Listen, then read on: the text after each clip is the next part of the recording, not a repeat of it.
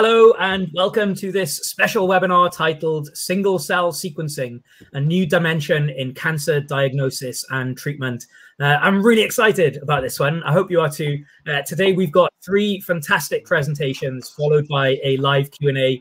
Our contributors today are Margarete Odenthal, Head of the Laboratory of Translational Research at the Institute for Pathology at the University of Cologne, Nan Fang, CEO and co-founder of Singleron Biotechnologies, and Tore Bleckwehl, uh, R&D scientist at Singleron Biotechnologies. So before we begin, just a couple of quick announcements. Uh, questions, please feel free to ask questions as soon as you like using the area on the right-hand side of your screen. You can also upvote other people's questions whenever you like as well.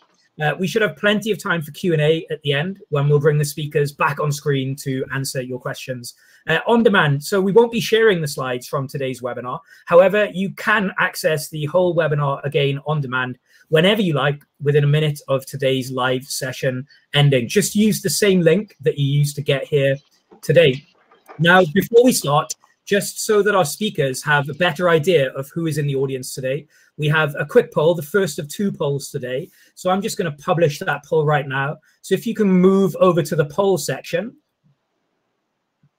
and you should see the poll has has uh, appeared. The question is, uh, what are the most common bottlenecks you experience in your single cell sequencing experiment? Uh, so if everyone could just uh, take a minute just to submit a vote. Thank you very much. I can see that creeping up. Give everyone a little bit longer. This will really help the speakers today just understand who is in the audience and, and what have you. All right, just a few more seconds. I can see still creeping up. Thank you, everyone.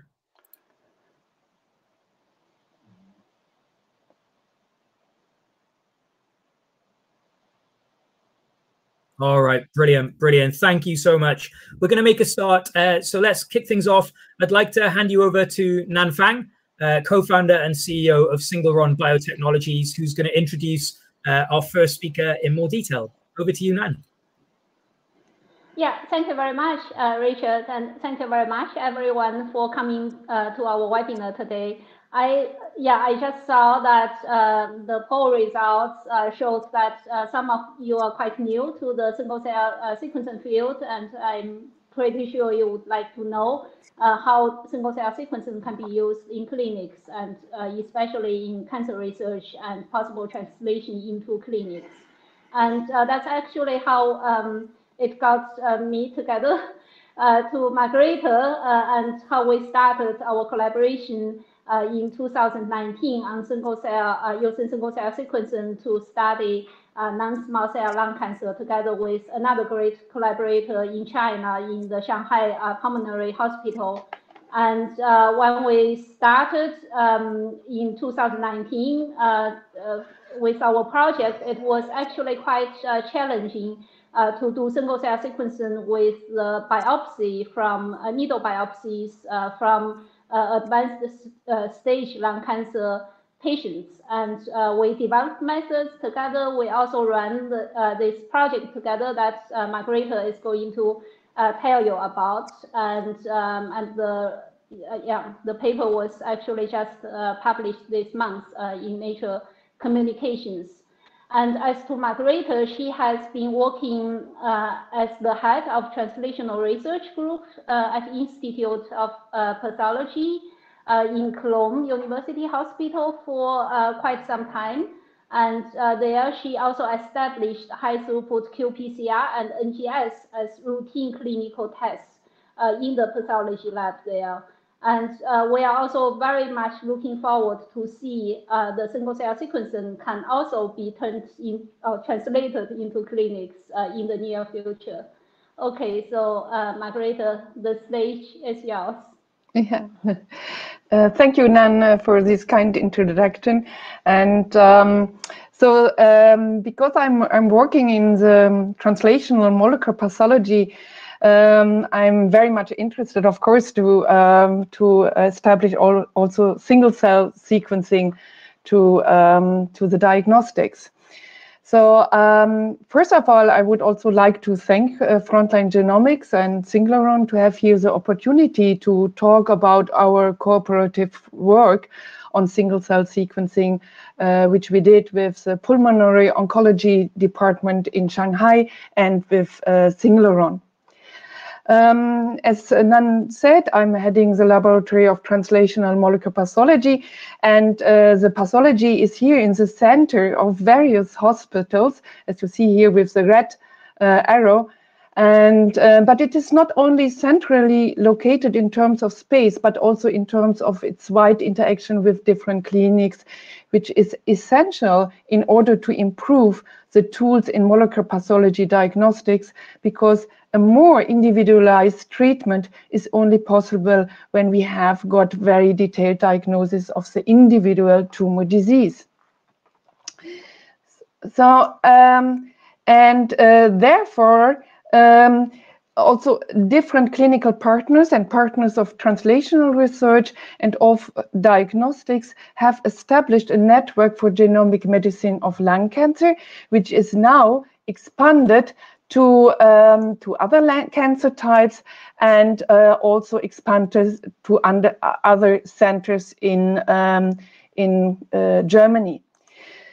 So uh, in this context, I was very happy that I was involved in a recent study initiated by our collaboration partners, uh, Dr. Xu and Dr. Wu from the Pulmonary Hospital Shanghai, focusing on single cell sequencing on biopsies of advanced non-small cell lung cancer. This study was conducted uh, using the Singleron platform, which is highly adapted to uh, diagnostic approaches. So um, I will give you in the next 20 minutes uh, some background information, but also um, I will talk about of, uh, our approach and of course about our results. Um, so due to the advances in treatment and diagnosis, lung cancer mortality rates have decreased by 54% uh, in men and also in, for 30% in women in the last 30 years. However, lung cancer is still one of the most common cancers worldwide, has the highest incidence behind gender-specific cancers in both men and women, and the low survival rates for lung cancer reflect the large proportion of patients, about 60%, who are diagnosed with advanced and metastatic disease. And for them, the five-year survival rate is only 6%. This makes lung cancer the cancer with the highest mortality. And that is also true for China, here uh, represented by the red bars, indicating that lung cancer is the most common cancer after breast cancer and also with the highest uh, mortality. So uh, among lung cancer, non-small cell lung cancer is the most common one, which is divided into large cell lung carcinoma, squamous cell lung carcinoma, and adenocarcinoma of the lung.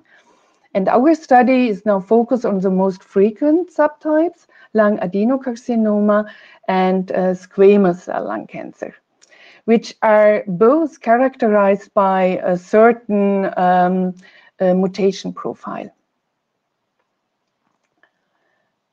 So, um, uh, over the last decade, many large-scale sequencing approaches have identified increasingly more tumor driver mutations, which have, um, on one hand, facilitated the development of targeted therapies and they had also marked uh, benefits in uh, survival shown um, in comparison to the classical treatment approaches. But um, we have still um, a high mortality um, of lung cancer patients, and that is uh, mainly because um, the, uh, the lung cancer uh, is diagnosed um, when we have already an advanced stage. And to this end, the activation of the immune system as a novel therapeutic option has long been investigated, and it has also um, uh, been uh, uh, much success. But uh, in the last years, when the checkpoint inhibition was discovered, um, there was really open up a, a new uh, perspective. So uh, what is uh, the checkpoint therapy? Um, here, uh, the immune checkpoint protein interaction, for example, uh, of PD-L1 and PD-1 interaction between cancer cells and T cells on one hand, or between dendritic cells and T cells on the other hand, result in a T cell repression. And immune therapeutic strategies by blocking these immune repressing checkpoint proteins have now transformed to the treatment of lung cancer, and they have uh, enormous uh, benefit. An increasing number of clinical trials are now all ongoing. There are monotherapeutic uh, trials or therapeutic uh, combinations. So um, uh, however, uh, checkpoint inhibitors have uh, also they have achieved a substantial overall, overall survival improvement, changing the five-year survival rate from uh, less 5% to 29% around. However, not all patients can be treated successfully, and some patients do not respond after the second uh, therapy, for example. So um, there are still a lot of challenges uh, which we have to um, to address. So um, the most uh, important ones are is a low response um, of um, uh, um, uh, of of, of the patients, uh, the lack of reliable predictive markers, and also um, that we need um, the other immunotherapeutic targets which we can use maybe for interfering with the immune system. And also the PDL um, expression, which we normally are using to uh, predict if the patient can respond to the therapy or tumor mutational burden, they are good markers, but uh, they are wide not, um, they are very imperfect and we have still a lot of uh, patients who do not respond to the therapy and um, we didn't maybe expect it. And to, due to the complex um, cancer immune interactions among the tumor, the tumor environment and the host immunity, and also a detailed analysis of the immune components and interaction is really necessary to get predictive biomarkers for a personalized immune therapy. And gene expression analysis on single cell resolution by single cell RNA sequencing provides insights on gene expression pattern of each cell, thereby the intracellular but also the intercellular signaling network. So, um, so several studies have deeply characterized the lung tumor microenvironment on uh, at single cell resolution. For example, there was a comprehensive uh, study on stromal cells um, and showing the distinct pathways in um, the tumor uh, microenvironment. Also, another study showed that uh, infiltrating T cells um, were um, which belong to the T uh, um, cluster correlate with a poor prognosis. And uh, another study uh, showed also that endothelial cells are heterogeneous in um, both human and in mouse. However, all these reports focused on early resectable uh, lung cancers, which might not reflect the cellular profiles of advanced stages and uh, that have undergone already um, some exhaustive uh, interactions of different cell types. And since most patients get the diagnosis of lung cancer when they have already an advanced stage um, and have already developed uh, metastasis, um, a study on advanced uh, lung cancer is very important. And these are very, very rare. So there is only um, uh, some um, studies who have uh, only a few patients included uh, with uh, lung adenocarcinoma, and there is no study which included also squamous lung cancer in an advanced uh, stage. So therefore, um, uh, we studied in uh, our Nature communication paper um, non-small cell lung cancer patients with uh, adenocarcinoma and squamous cell uh, cancer. And we had included 42 uh, patients with diverse histology, uh, molecular phenotypes, different mutation status, and also a different histology. All tumors were stage three or stage four. And we worked also with biopsies because um, uh, advanced uh, lung cancer is not uh, anymore resectable, and therefore it's uh, this material also so difficult to handle on one hand, one side, and also very rare. So um, uh, we used the workflow from Singleron, and um, that was uh, the reason that we used this because first um, we have here the possibility to put uh, the biopsies in a preservation uh, buffer. Uh, in this preservation buffer, the uh, samples are stable and cells are alive for uh, 72 hours. And um, there is also only one unique dissociation buffer, which is uh, also uh, very convenient when you use that because you can use it for all different tissue. And even uh, when you are using tumor tissue or um, other tissue with a lot of fibrosis and a lot of uh, scarring um, proportions, uh, the buffer worked uh, very nice. So, um, and the, another reason was that the system and the, the workflow is a bit different than uh, other technologies. You have here um, a, a, a, microchip. Um, in this microchip, uh, only single cells um, are uh, placed. And um, uh, I think that also mechanistic uh, forces are a bit lower as uh, in other microfluidic um, um, assays. Um, we had um, uh, quite good data that we had no doublet cells in, in the in the wells, and uh, so uh, it worked very fine. Uh, another thing uh, point is that uh, we can here separate 30,000 cells, but the chip is also working very nicely when we have less, as for example, when we are using biopsies. So um, another uh, uh, reason was that um, is offering the whole workflow, not only uh, from uh, preservation, dissociation, um, uh, cell uh, um, sequencing or RNA sequencing.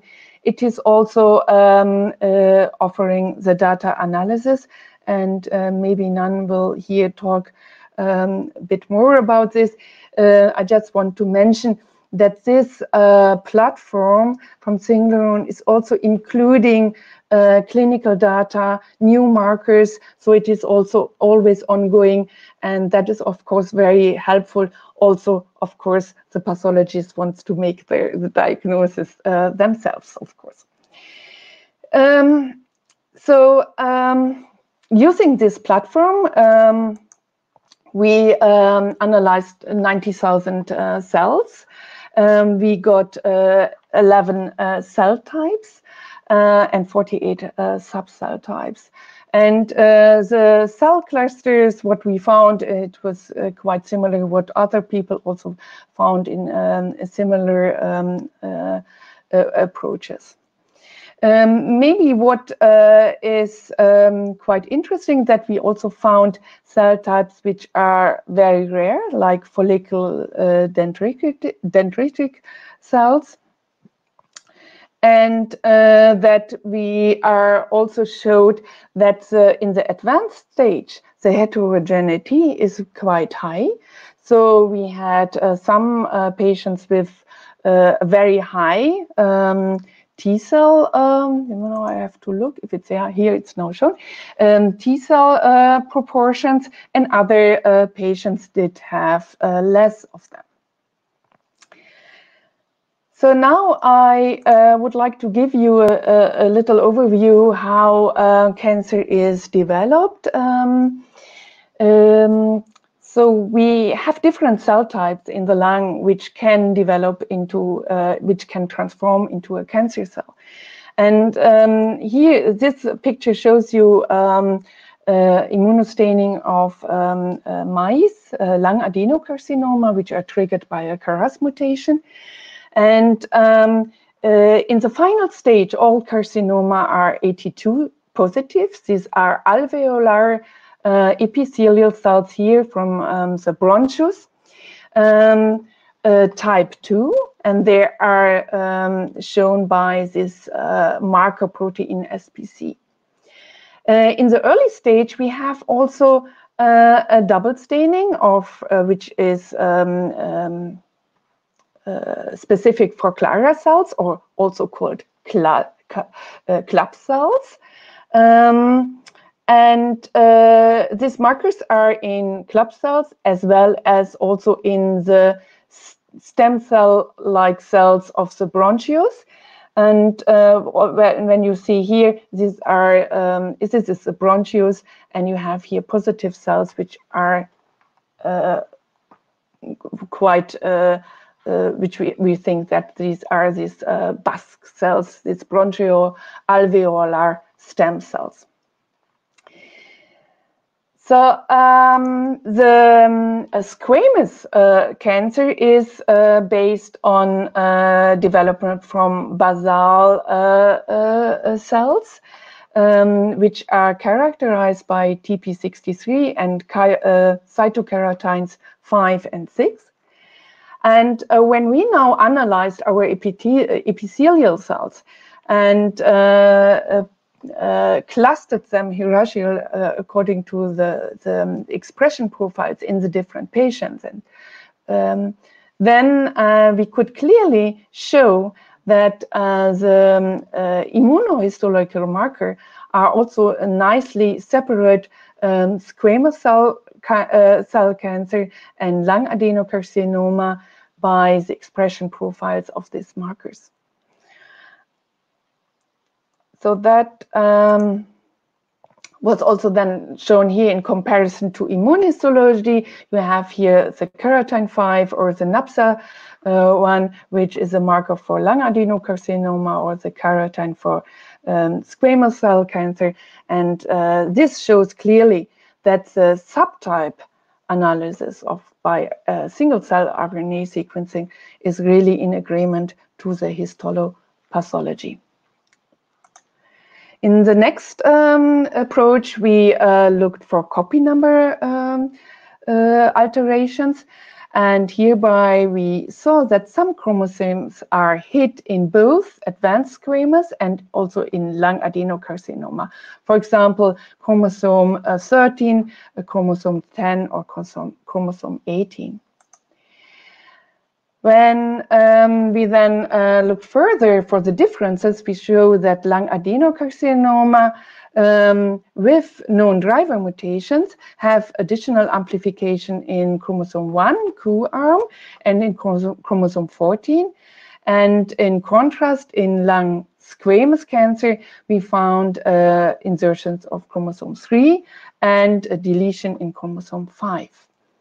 So interesting, some of the lung adenocarcinoma patients um, without driver mutations have a similar pattern as the copy number variation profiles from uh, squamous lung cancer.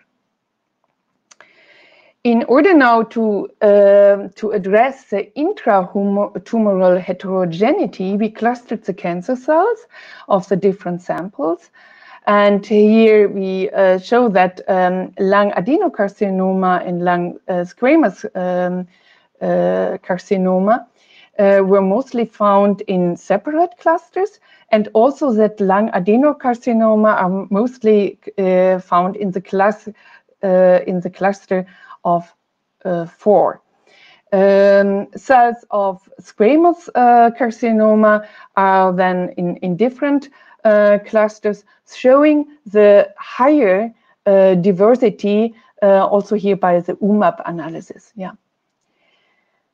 So um, then we performed also statistical analysis of the different proportions uh, of cells with uh, the same expression profiles. And also here we show that uh, we have higher intratumoral heterogeneity in, um, in uh, squamous uh, lung cancer than in lung adenocarcinoma. further analysis of the um, cancer epithelial cells um, is here now shown for the AT2 cells, the alveolar type 2 cells. Here we found two clusters. One cluster, AT2-1, uh, is sh showing the expression profiles of healthy epithelial cells, whereas AT2 epithelial cells show markers which are related to cell proliferation and cell migration, showing maybe, um, yeah, showing a more higher uh, malignant uh, phenotype. So um, in order to go now more in detail, uh, we performed also now um, pseudo pathway analysis. And I don't want to go uh, uh, all through this picture. It's also not in my experience. I have to say that because that um, the, our bioinformation um, uh, um, team performed. But what you see here when you are looking for the AT2 cells, and uh, in comparison to the club cells that um, that uh, uh, the, the um, uh, AT2 cells and the club cells transited into lung adenocarcinoma independently, and also that we find um, sometimes in a final stage uh, uh, accumulation of the cells, which um, which uh, indicates that uh, we have here a terminal or a homogeneous terminal phenotype. So um, to go further on on uh, the uh, tumor analysis, we uh, started to analyze the T cell uh, populations. We found um, the most common T cell population um, um, uh, and we found two clusters of natural killer cells. In addition to, um, to the um, widely uh, found uh, T cells, we found also uh, T helper um, uh, uh, cell type 17 like um, CD4 type. So um, what was then also interesting that uh, we found in um, some part of um, the T cells uh, also the expression of uh, other um, checkpoint um, pathway mediators uh, like the CTLA4 and the TIGIT, um, the TIGIT protein. And that was most uh, found in, um, in CD8 uh, exhausted uh, cell types. Uh, we analyzed also the B cells, but due to time, I will not go uh, to this um, to these details. What was also very interesting were the neutrophil population there were two neutrophil population, one uh, C uh, with the uh, positive for the chemokine receptor 2, and uh, the other population for MMP12. So, but um, they they had a really distinct uh, expression profile, as you see here in the violin plots. They have also other markers which are totally uh, positive or negative. And um, what was also interesting that uh, both of this population uh, expressed uh, LOX1, which is uh, uh, um, uh, a marker for peripheral um, um, um cells um, infiltrating the tumor and have some suppressive activities. So the polymorph nuclear myeloid-derived suppressor cells, uh, shortly called PMN-MDSCs.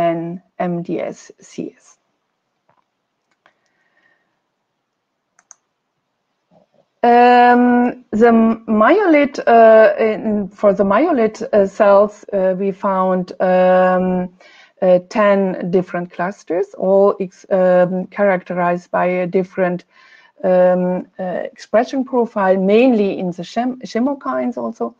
We found also two clusters for dendritic cells. And uh, when we look now in um, in the cancer uh, cell types, how they are expressed and how they are uh, occurring, you can see that there are, uh, for some, um, uh, really um, um, significant uh, differences in between the different tumor types. Uh, that brought us then uh, to look uh, further on for the intercellular communication. Let's start with the neutrophils.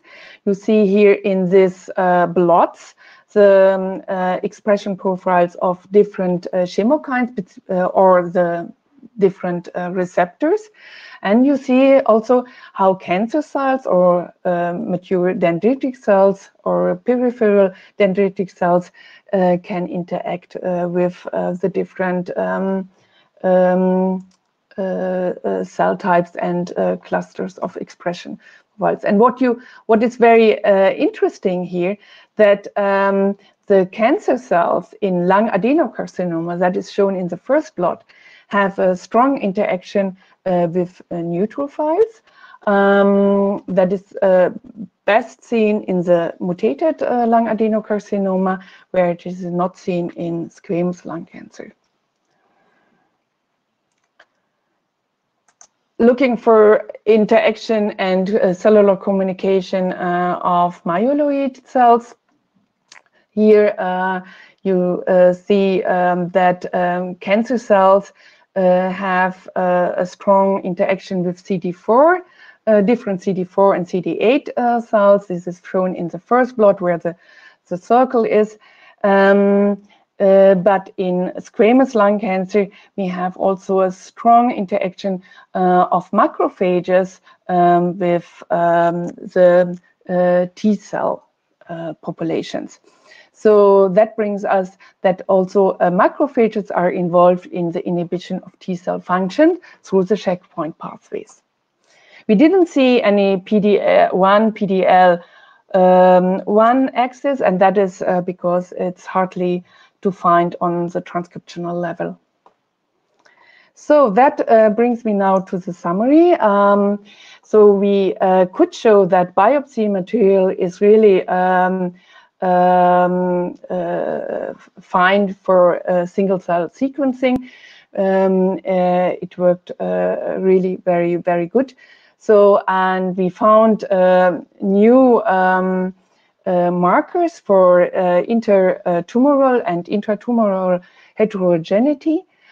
Um, we could also highlight uh, follicular dendritic cells uh, and also Th17-like lymphocytes um, we showed that there is a high difference in um, lung uh, squamous cancer in comparison to lung adenocarcinoma. Um, the most important point what I want to make is this study showed us, and we will really start at once to establish infrastructure to make more single cell sequencing in patient material to find new markers and um, uh, for uh, individual therapy.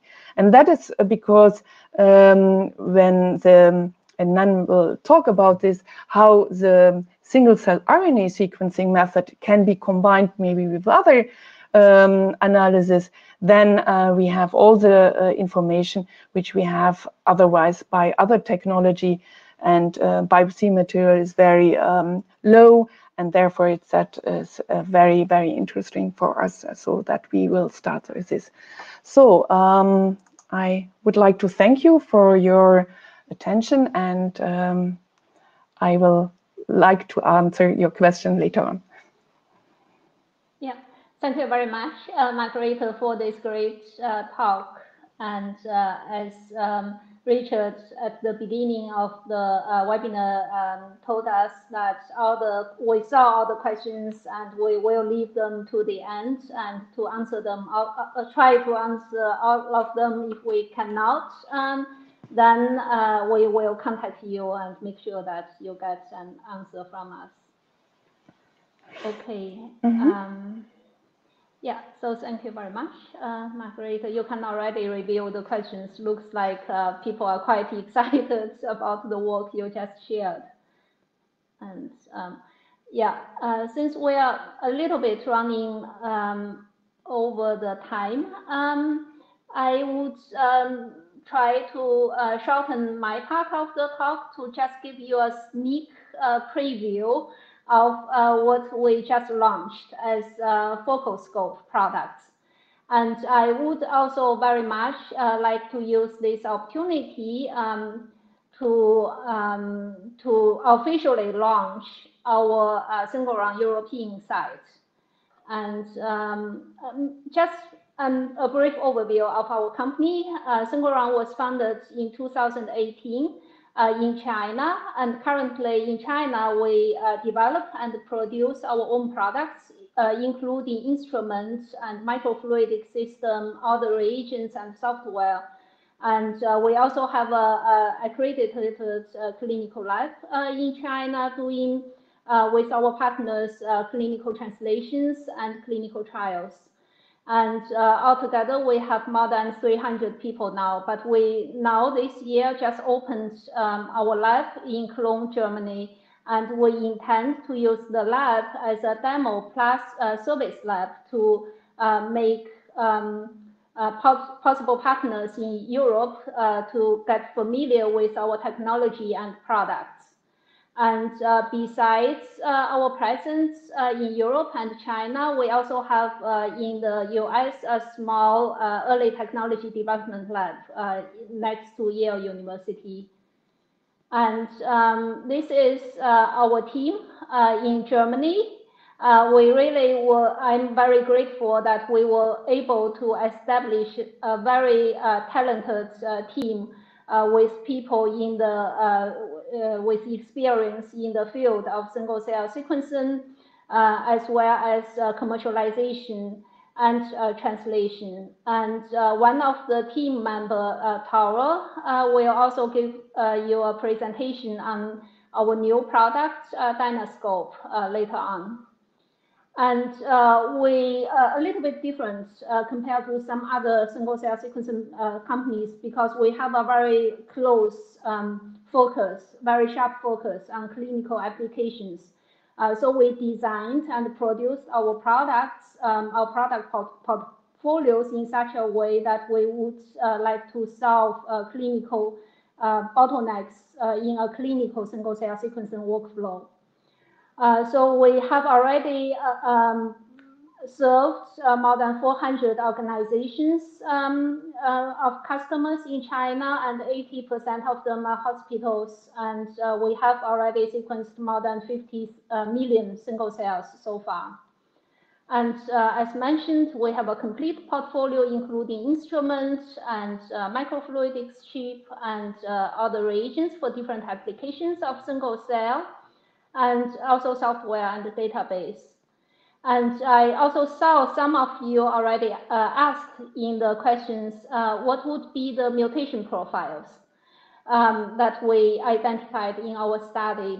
As um, what Margarete just showed was single cell RNA sequencing uh, results uh, from cancer samples, just like most available uh, technologies in the market, uh, this can only look at RNA sequencing profiles uh, with limited information or no information on the uh, mutation profiles. And for those of you who are familiar with uh, cancer research, you know all the driver mutations, passenger mutations, and you would like probably like to know uh, how they work in different subclones um, of cancers.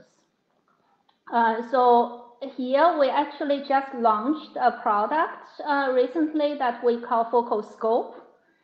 uh, we design and customize our cell barcoding beads in such a way so that those beads not only have uh, poly uh, oligo dTs uh, for mRNA capture, they would also have um, custom designed probes so that we can use them to capture different uh, regions on the cDNA um, so with that, we are able to uh, detect together with mRNA profiles in each single cell, also targeted regions. Uh, for example, we can detect uh, mutations, uh, just as uh, what we have uh, in this lung cancer druggable mutation panel. And we can also use that to detect intracellular virus, because as you know, um, some virus like EBV virus uh, is very much present in specific types of uh, cancers, and they might also have some direct um, relationship to the uh, generation and also progression of uh, those cancer types. So with the customer designed uh, beads of our FocuSCOPE product, we are also able to detect uh, those viral sequences together with the host mRNA sequ sequences. And another possi uh, possible use of that is uh, to detect uh, some fusion uh, genes uh, in combination with host uh, mRNA profiles. Um, yeah, so if you would like to know more of the multi-omics FocuSCOPE products, you are very welcome to contact us. And uh, besides uh, this uh, first in market um, multi-omic single cell product FocuSCOPE, uh, we also just launched another uh, product that's called uh, DynaSCOPE, where we put additional dimension of time to the single cell, already very high dimensional single cell data. And I would now turn um, the stage uh, to power so that power would uh, be able to um, tell you more about the DynaSCOPE product. Okay. Yeah, thanks, uh, thanks, Nan. So it's my pleasure to introduce you uh, to DynaSCOPE, which is our new product that can uh, measure um, nascent uh, single-cell RNA sequencing. Um, yeah, so I started working this year uh, at Singleron Biotechnology as a R&D scientist um, in Cologne. And uh, yeah, uh, today I will present you uh, DynaSCOPE, a time-resolved single-cell transcriptomic method to analyze transcription kinetics. So in conventional uh, single-cell RNA sequencing, as we have seen today, and as uh, we know also from the literature, major uh, breakthroughs has been made and nowadays with the growing uh, community it's quite convenient to discover cellular heterogeneity to identify uh, cell clusters. As you can see here for this example of the early mouse embryo data set um, and then annotate uh, the clusters um, and also it's quite straightforward to detect cell type specific markers. Um, but this conventional approach has also some limitation and one is that uh, it's only a snapshot of a, a particular time point. Um, so you don't know where the cells are coming from or where they are going.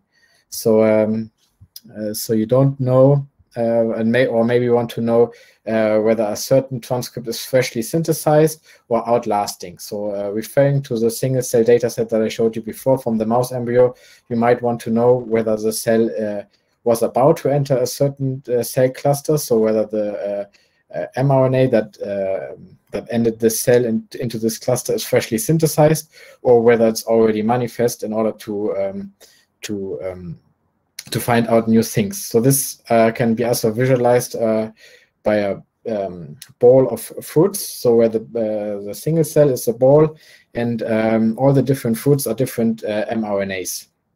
And for instance, now it's easy to tell how uh, what kind of fruits they are, and you can also count them. So for instance, you could count um, the strawberries. But also this image is only a snapshot. So you cannot tell which of the strawberries, for instance, uh, might be the tasty one or the freshest one, right? Um, so in order to do this, you need to taste it. So you need to take a bite. And also that's the spirit of DynaSCOPE. So uh, what we are doing or what we aim uh, to do with this method is to um, uh, detect uh, the uh, freshness of the RNA. So therefore, we are metabolically labeling the RNA in order to tell whether the RNA has been um, freshly transcribed or is maintained and is coming from before the treatment. So, um, and this method can be actually applied to, act, to all active and viable cell cultures and tissues, especially those that have been proven to be um, suitable for single-cell RNA sequencing. So, and also you can add an additional layer um, to combine it with some treatment in order to find out uh, what the treatment, uh, how the treatment affects the transcriptome. So for instance, if you have a cell population as shown here to the left, uh, you can see how the red cells uh, will become after a treatment or like after an effect, infection, um, after you add some drugs. If you're doing medical research uh, uh in development, if you're interested in uh, signal cures, or uh, if you are interested in transcriptional regulation on a single cell um, level.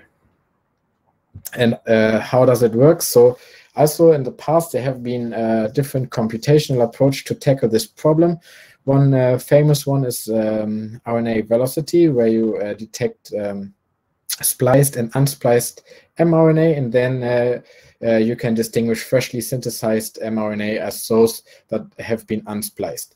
Um, or you build up uh, trajectory inference and order the cells in pseudo time in order to get an idea how one cell uh, state might trans transit to another.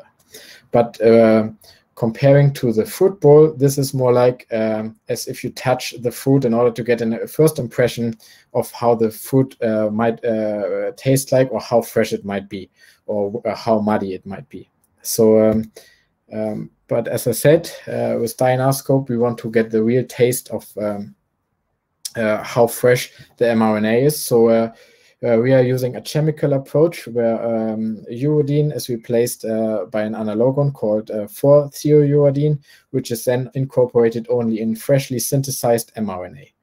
And um, then later, this uh, incorporated 4-thiouridine is chemically converted to a cytosine uh, analogon, and then uh, we have a, a uracil to cytosine conversion in reverse transcription, which enables us to discriminate between the nascent uh, transcript that uh, has been synthesized after uh, we add the 4-thiouridine and all transcripts that, that has been there for a while, which still have uracil. So integrated into the Singleron workflow that Margarete already shared with you, uh, we have some additional steps then. Uh, so first of all, we need to lay, uh, we need to treat the cells or dissociated tissues with a 4-thiouridine, uh, and then we can uh, dispurgate them into the single Singleron matrix, lysis cells, and add the cell barcodes. Uh, so then we will have uh, transcripts showing here in red uh, that will have incorporated the 4-thiouridine as they are freshly um, transcribed in the cell, and we will have a long-lived transcript showing in gray that still have the classical uracil. And uh, this will be then chemically converted uh, into the cytosine analog, so uh, that in uh, red, uh, the nascent transcripts uh, will have a mismatch after reverse transcription, while the stable transcript that has um, been already there before we added uh, 4-thiouridine will not have any mismatch. And after that, uh, it's very simple. You just continue uh, normally with a single cell RNA sequencing uh, library as usually. Um, you can sequence uh, it then on uh, Illumina platform and uh, afterwards um, using bioinformatical tools, you can separate due to the mismatch uh, at the uracil position, whether the transcript that you're looking at uh, has been freshly synthesized or is a long-lived transcript. So uh, next, I will show you some benchmarking of this work. So here, for instance, uh, we have the substitution rate, which is crucial in order to detect uh, the freshly synthesized mRNA. And it's um, uh, it varies with uh, the duration of the labeling and the cell type. So here uh, I show you two examples from lung and bone marrow of a mouse. Mm. And as you can see here, the uracil to cytosine conversion is very specific in both cases, only to the uracil to cytosine uh, conversion and only upon treatment. So this enabling um, us only to detect freshly synthesized mRNA. Uh, so Then to dive a little bit more into these examples, here's also the same example from the bone marrow.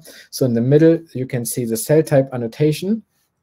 Uh, so of each cluster, and on the left you can see um, the cells colored uh, whether they have been treated or are left untreated with uh, 4-thiouridine. And as you can see on the treated versus untreated uh, UMAP plot, um, both cells um, cluster together and uh, do, uh, do not enter a separate cluster so uh, that the transcriptome is not changed and uh, that we have also a reliable transcriptome which is comparable to the untreated cells uh, when we treat the cells with 4-thiouridine. Right. Uh, and this is also then reflected on um, on the cell types showing on the right. so you have similar proportions of each uh, cell types. But of course, what is now more, uh, more important is to add this additional layer of um, um, of the uh, of the RNA uh, metabolism. So uh, here again we have the example then from the lung. So in the middle is a cell type annotation. On the left again uh, the colors indicating whether the cells have been treated or left untreated. And as you can see also in this example, the cells end up in the same cluster as the untreated ones, so that we um, can assume that the transcript is uh, highly reliable. Uh, but then what is the most interesting part is uh, the plot on the right where we see the RNA metabolism. So here the cells are colored by the RNA turnover rate, which is uh, estimated by the uh, cytosine to uracil mismatch uh, divided by all transcript. So a freshly synthesized transcript divided by all transcript. And then you can see that actually for different cell types like the B cells, which are like in the top left corner, uh, the turnover rate is rather high, while for some other cell types like um, epithelial cells on the top right, it's it's rather low. So uh, also um, the uh, mRNA turnover rates uh, differ between cells. So this can then also be summarized uh, in, a, in a violin plot. But what is probably most important is then uh, if you want to look at uh, your gene of interest. So here we have just looked at the genes that are uh, enriched in uh, lung tissue only compared to other tissues. And we already found three interesting groups by just looking at these few genes. So here in this plot, you see um, in red the freshly synthesized mRNA, and in gray always the uh, long-lived transcript that has not been fresh transcribed yet. So uh, by looking at this highly enriched lung genes, we already found that uh, so there are three groups. So this freshly synthesized and stable um, mRNAs showing here in green, where in all uh, cell types, so B cells, endothelial cells, macrophage, there's freshly synthesized mRNA and there's old mRNA.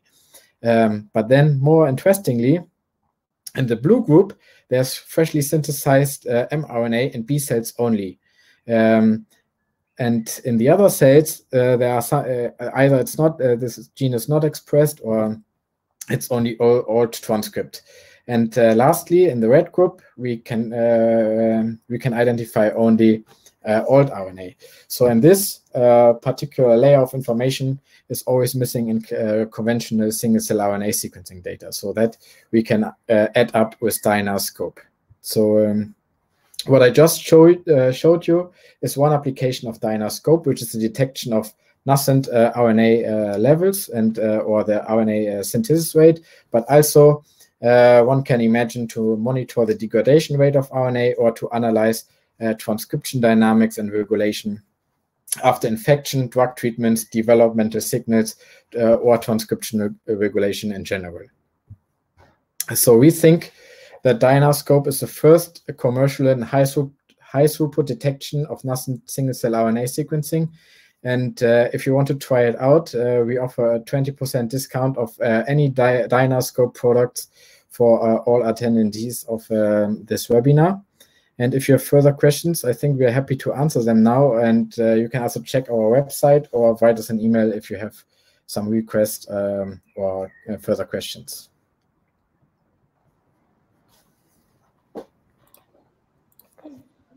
Thanks, Tore.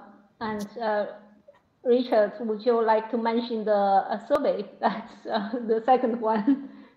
Yeah, ab absolutely. Just in case anybody hasn't seen it, um, I posted a second survey just after yeah. the first talk. Um, which um, is um, let me just get this right. Yeah, what are the most common sample types that you're working with? Um, quite a few of you have already answered that, which is fantastic. Thank you for spotting it and answering it. Uh, but if you haven't had the chance to do that, then if you could, if you could vote now, that would be great. Okay, yeah, then uh, we still have uh, about four to five minutes uh, for questions, and I would uh, uh, pick some, is the imaging system built into uh, the same system. I was trying to understand how you look at phenotype and genotype in the same cell. this is a question from Andrew. And for our machine, if that's what, what we are talking about, our instrument to partition single cells, we don't have an imaging system. Uh, so I, I, think maybe that statement was a little bit uh, misleading. What I meant uh, by that is uh, what we could, could do is to really look at uh, the mutation or other DNA um, based uh, sequence genotypes and connect that to gene expression profiles in the same single cell. so sorry, our current instrument doesn't have the imaging system yet. And um, and then I also saw some other question. Uh, one is uh, from uh, Mohammed uh, on Toro. And uh, I just have one question regarding the incorporation of uh, 4SU. How would you control sufficient incorporation in dissociated tissues? Yeah, actually, that's a good question, I, and I think it depends on your uh, uh, also your research uh, question or your uh, approach, because maybe you are interested in something uh, that is uh, really early synthesized, so upon treatment, let's say. So then you also lower the duration of treating yourselves with 4-thiouridine. But if you're interested in more um, in RNA that is maybe synthesized at a later stage. Um, uh, you could also prolong this treatment. But uh, for a starting point, we would always recommend um, maybe to use uh, uh two hours as a treatment, and then we can also compare this to our existing data and see uh, and compare this incorporation rate. Mm -hmm. Okay, so I hope that answered your question. And I also saw a question from Philip uh, Bischoff. Have you tried to culture primary tissue short time and perform uh, the DynaSCOPE analysis. Um, yeah, so maybe I can answer that. Um, we tried, uh, but in general, uh, from primary tissue, um, uh, we actually don't see um, very efficient or complete incorporation as what we would see uh, if we could um, first dissociate the cells, but we are working on new uh, methods uh, to overcome this uh, challenge. And if you have any ideas I would like to discuss with us, uh, yeah, you're more than welcome. And, um, and then I saw another question um, on the target uh, sequencing FocuSCOPE uh, from Hui Qi. And this is um, like he or she is wondering whether uh, the uh, whether the target probe and the oligo DT would compete with each other, and how many targets could we profile with FocuSCOPE or focal seq. Actually, here. Uh, our uh, current um, design can uh, target up to five genes at different regions. And we did um, um, yeah, so the uh, possible computation is a concern. That's also why uh, currently we, um, so the maximum amount of genes, um, but at different regions that we can target is five. Uh, that we, that's what we would recommend. So that's a very good question. And um, I also think there might um, be some other questions. Oh, uh, looks like we are almost running over time. I still see a bunch of very, very good questions, uh, but um, please be assured that we would come back to you with um, all the answers. And uh, Richard, uh, it's now your turn. All right. Well, look, thank you. Thank you very much to to each of you. I thought that was a really fantastic webinar, uh, and just based on a brilliant, brilliant case study uh, for those of you that are interested, uh, much of the work presented in this webinar was recently published, and I've just dropped the citation into the comments um, mm. section. So, so please check that out uh, as well if if you're interested. Uh, yeah, so th thank you to, to all of our speakers. Uh, thank you also to our partner for today's webinar, Singleron Biotechnologies. Uh, and thank you to all of you for, for, for joining us uh, today as well. Don't, don't, forget this webinar is available uh, on demand, uh, so you can watch it back at, at any time at all. Uh, have a lovely day, everyone. Goodbye. Bye. Thanks.